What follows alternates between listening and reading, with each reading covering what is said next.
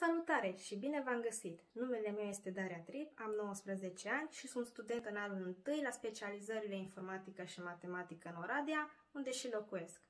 Aventura mea ca și explorer în Digital Nation a început încă de când eram clasa 11, adică din anul 2019.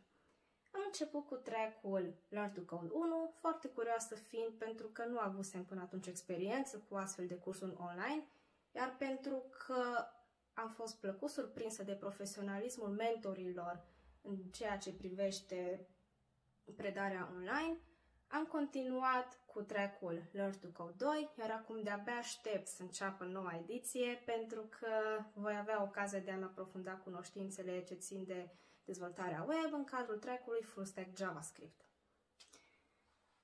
De asemenea, este foarte important de înțeles că Digital Nation este o comunitate.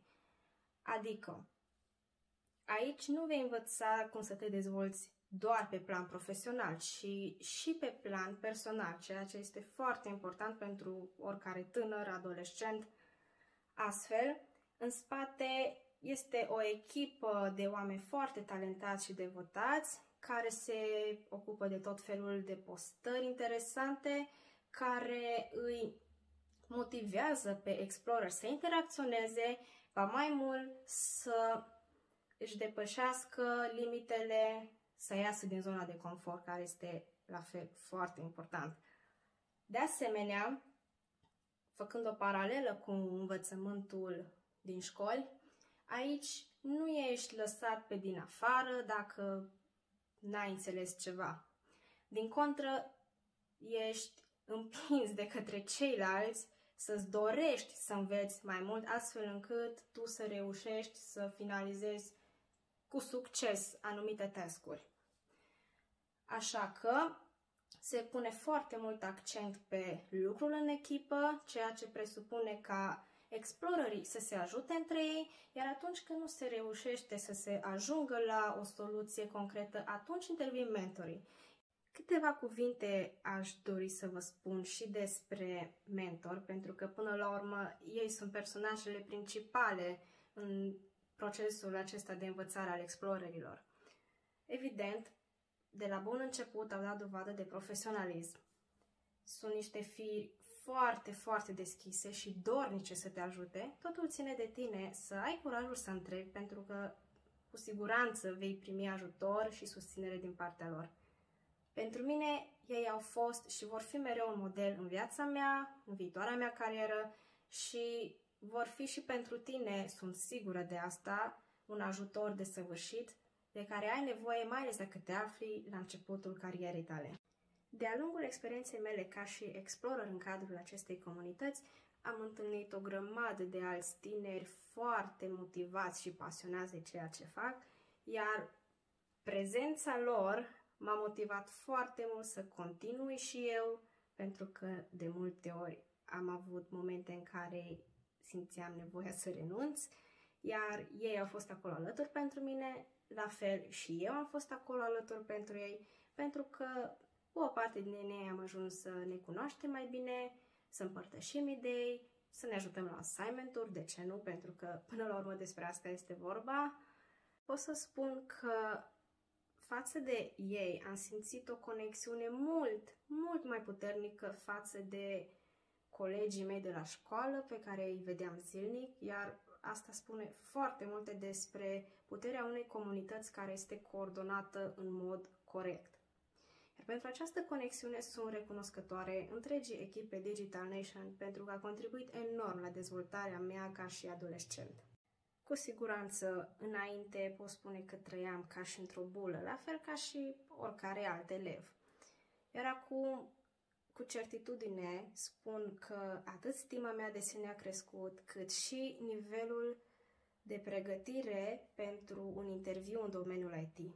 Iar acum vreau să-ți prezint câteva aspecte despre programul de angajabilitate. Aici înveți, tocmai de la un recruter deosebit, despre cum să te prezinți la un interviu, ce să scrii sau ce să nu scrii într-un interviu sau ce așteptări ar avea de la tine un posibil angajator. De ce este important un astfel de program?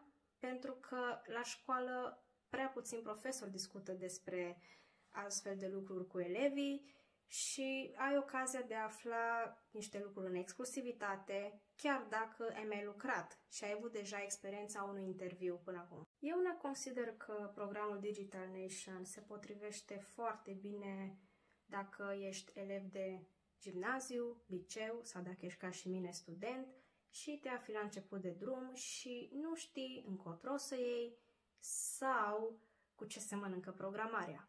Cu siguranță nu ai nevoie de cunoștințe anterioare pentru a te putea înscrie în acest program, totuși un minim ar fi cunoștințe în limba engleză pentru că atunci când tu vei scrie cod, vei folosi foarte mulți termeni, foarte multe cuvinte în limba engleză și este important ca tu să înțelegi ce scrie acolo. În continuare, vreau să subliniez un aspect foarte important, indiferent că este vorba de Digital Nation sau alte cursuri online, dar acesta se referă la durata timpului de învățare de 3 luni de zile.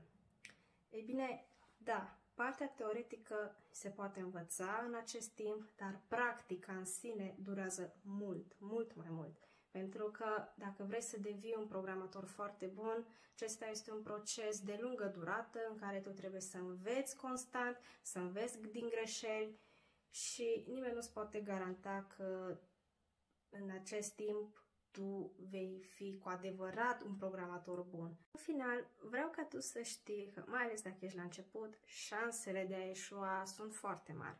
Dar tu trebuie să ai capacitatea de a depăși acest moment și de a nu te lăsa intimidat de faptul că nu ți-au ieșit lucrurile exact cum voiai tu. Sau mai bine zis, ai întâlnit niște erori pe acolo prin cod. În mod clar, pentru a-ți asigura succesul tău ca și viitor ITist, este esențial să înțelegi cât de important este să ceri ajutorul celor din jur atunci când te blochezi, să rămâi mereu curios și să nu te dai niciodată bătut.